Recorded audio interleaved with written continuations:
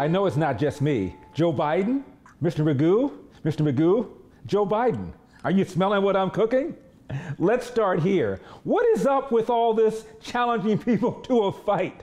That does it. I'm boiling mad. I said, come on, Donald. Come on, man. How many push-ups you want to do here, pal? And you want to check my shape on? Let's do push-ups together, man. Let's do. Let's run. Let's do whatever you want to do. Let's take a nice Number two. Number two. Press always asks me, don't I wish I were debating him? No, I wish we were in high school. I could take him behind the gym. That's what I wish. It takes me back to my soft shoe days. Loop do do do do do do do do do do do Very good young man. and what on earth is this deal with Biden bragging about how well he did in school? Ah, here we are. Arthur Murray's dance studio. I'll be the, the envy of my classmates. I went to law school on a full academic scholarship, the only one in my in my class uh, to have a full academic scholarship. Went back to law school and in fact ended up in the top half of my class. I was the outstanding student in the political science department at the end of my year. I graduated with three degrees from undergraduate school and 165 credits, only needed 123 credits. Why would you call Joe Biden what you called him today? That, he, that he's dumb? No. That would have been a compliment. Oh, that thought, would have been like an invitation to Joe, the prom. Joe, I, I, you called him a mentally deficient oh, I, idiot. Didn't, I didn't mean that. I meant he was. He, he's not. He's dumb. I think Joe's uh, uh, last in his law school class.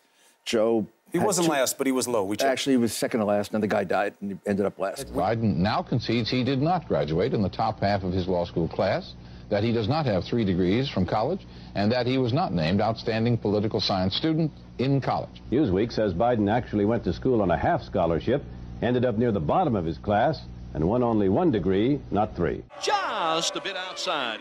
Have you ever noticed how often Joe Biden gets verklempt? I think it's a, mistake to pull out the, straw, the small number of troops. Uh, uh, uh the, the, reason he made the strike was because our embassies were about to be bombed. I would not meet with uh, absent preconditions instead of poking our eye and uh, po- po- excuse me, poking our finger in the eye of all our friends by stealing our intellectual, stealing our intellectual property, their corporate state system to to our significant disadvantage of anyone running up here race. Reduce the cost of drug uh, of drug prices. It sets up, it allows all the drug companies, to, excuse me, it allows you to Medicare to negotiate. It should be free universal infant, infant care, but here's the deal: over 500 miles a day, uh, excuse me, uh, 250 miles a day. There's no oppor- there's no choice but to, for Nancy Pelosi that I think about the American people. I headed up the Recovery Act, which put more money into fossil, uh, moving away from fossil fuels to to enter to uh, uh, solar and wind energy. If they, the vast majority believe their children will never reach the stage that they read, they they've reached the next. And like President Trump, Joe Biden has been holding his coronavirus briefings, except unlike President Trump, he's been holding them in the basement of his home in Wilmington, Delaware. And let's just say they have been challenging. Um, and, uh, I'm not, and I, I have a, I have a, uh, like all of you, but every day I between an hour and an hour and a half uh, brief with um, uh, the former head of uh, our former Surgeon General. Anyway, with docs across the country, and use the organizational ability that the White House has, that the president has, to make sure we have enough PPP, those those protective gear for this second wave. We're we're we're we're it's a, we're in the middle of a pandemic that had cost us more than eighty five thousand jobs as of today, lives of millions of people, millions of people, millions of jobs. And what did he say about guns and deaths? That has caused carnage on our streets. 150 million people have been killed since 2007 when Bernie voted to exempt the gun manufacturers from liability. Oh, how do you do, madam? Uh, Magoo's the name. I would like to join your cotillion to improve my terpsichorean endeavors. And vision issues and Chuck. Charlie! Charlie! And I also am told that uh, that uh, uh, Chuck Graham, state senator, is here. Chuck, stand up, Chuck. Let him see you. Oh, God love you. What am I talking about? I tell you what, you're making everybody else stand up, though, pal. Thank you very, very much. I tell you what, stand up for Chuck. By George, a conga line, a Magoo specialty. One, two, three, and kick. Hey! One, two, three, and kick. Hey! And sometimes he can't exactly remember who wrote what. We hold these truths to be self-evident. All men and women created by the, go, you know the, you know the thing. Other times he remembers what they said, it's just that he can't remember who said it. Why is it that my wife is sitting out there in the audience, is the first in her family to ever go to college? Why is Glenys the first woman in her family in a thousand generations to be able to get to university? My ancestors who worked in the coal mines in northeast Pennsylvania don't come up after 12 hours and play football. Eight hours underground and then come up and play football. It's because they didn't have a platform upon which to stand. There was no platform upon which they could stand. Cannot measure the health of our children, The health of our children, the quality of our education, the quality of their education, the joy of their play, or the joy of their play. And then other times, Joe just kind of drifts off. What's happening? We're not organizing, and if we don't organize the world. Who organizes it? Who organizes it? And so there's so much. I think. I, I- anyway, look. I, I one, one, one more question here. Is it too late to address the climate change in a meaningful way? It looks to me like Mr. Biden is in mid season form. You're a lying dog faced pony soldier. Now, at this point, a lot of Democrats are wondering is Joe Biden the guy? After all, he's been making gaffe after gaffe after gaffe. He hasn't exactly inspired confidence in how he would handle the pandemic. And don't forget the allegation made against him by Tara Reade. In fact, this op ed in the Washington Post suggested that he drop out. And yet, Democrats should still insist that Biden step aside. Democrats must apply the standards we elaborated during the Kavanaugh case. As Jessica Valenti argues, feminists must not fall into the trap of ignoring individual women's stories in exchange for broader political power.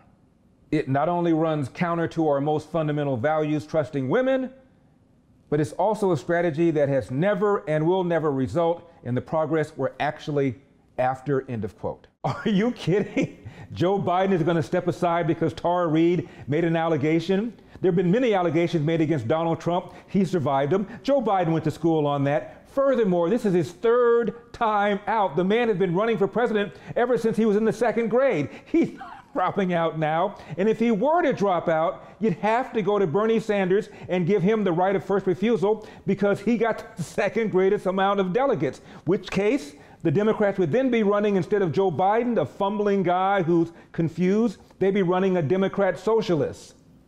Six of one, half a dozen of the other.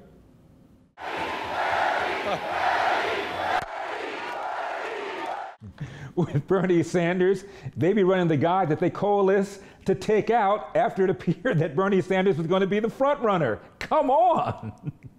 Now, at the very beginning, I said Biden, Mr. Magoo, Mr. Magoo, Biden separated at birth, and I asked you whether I was the only one. I'm not. And yet he he comes kind of bumps along, you Yeah. know, mm-hmm. kind of Mr. Magooing his way through this. Sparky,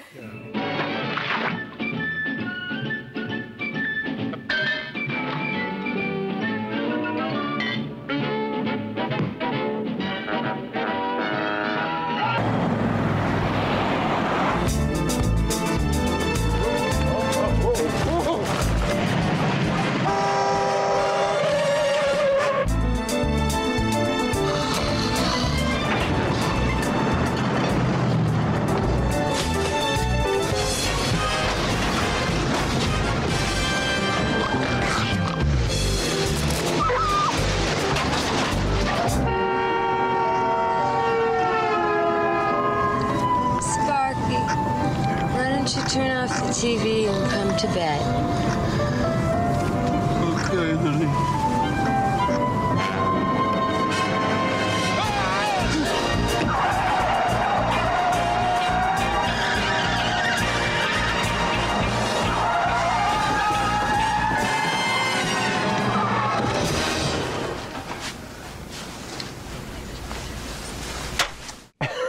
it ain't the golf swing that counts it's where the ball lands. Now, don't forget, Uncle Tom, my documentary is coming out June 19th. Go to uncletom.com right now. Check out three of the trailers. Here's one. I focus on three things belief in God, belief in myself, and my belief in the United States of America. Being a black conservative is just natural. It's what my family raised us on faith, family, individual responsibility, education, service to the nation, an entrepreneurial mind. Being a business owner in America is one of the greatest privileges of being an American. I think black Americans should believe and uphold the ideas of constitutional inherent rights. I always felt that if I worked hard, that I could overcome the circumstances of my life. I never felt that because I was black or I was poor or a woman, that I couldn't do something. Humans are naturally conservative. You grow up being taught to work hard for what you got. You don't, you don't grow up being told you're gonna get something because you just want it. Like you ain't gotta work for it. But Democrats, they say, hey, we give you everything for free. That ain't reality. And so we bid adieu to our good friend. Sir, until we meet in court, I say good day. We've got a country to save. I'm Larry Elder, and I'll see you next time.